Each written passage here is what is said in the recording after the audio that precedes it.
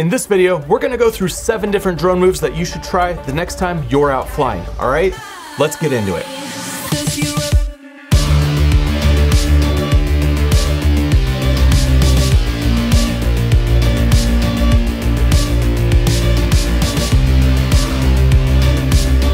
Get the drone high up so you can see a vast landscape. And now you're gonna pull left on the right joystick. It's simple, but it's always gonna look good. Now to take this a step further, pull right on the left joystick. This creates an arcing orbit motion. But when you pair this with a super wide landscape, it's gonna add more motion into the footage. Bonus, use a zoom lens like a 3X on the Air 3 and find a shot with multiple layers. And if there's a mountain in the distance, use this shot to reveal it.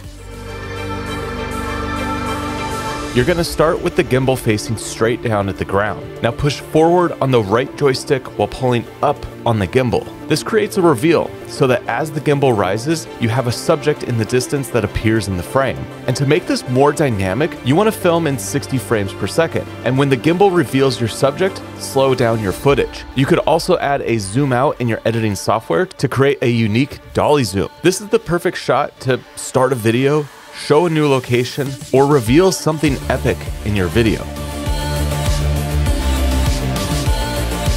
You're gonna pull left on the right joystick. That's it. However, it's all about how you position the drone in relation to your subject. You want to create layers and depth. So for this shot here, I have three distinct layers. In the foreground, the drone is the same height as the Jeep, and the drone is moving the same speed as the Jeep. In the middle is a hillside that's moving the other direction, and in the distance, there's a tall mountain. Now, when you pull left on the right joystick, you'll keep that subject centered the entire time. And even though it's a simple move, you'll create a dynamic shot with a ton of movement because each layer is moving at a different speed while your drone is following that subject. Bonus points, use a zoom lens to enhance this shot even more.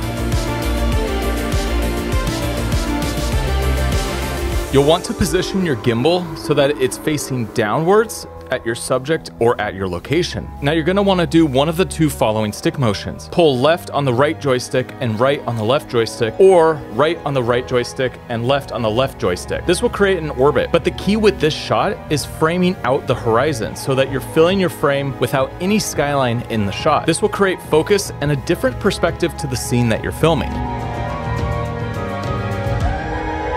You're gonna push up on the right joystick, which will cause the drone to move forward. And then you're gonna pull down on the left joystick, which will cause the drone to drop towards the ground. The key with this shot is that you're flying towards a subject on the ground. You wanna start high in the sky with a big landscape style shot, and then as you move forward and down, you fly closer and closer to your subject. Now, the shot is perfect for starting a scene or shifting focus from the bigger landscape to a specific thing in your shot. However, chasing a moving object looks even better because you'll have to fly the drone fast fast to keep up with your subject, and as you get closer to the ground, the shot will feel faster and faster.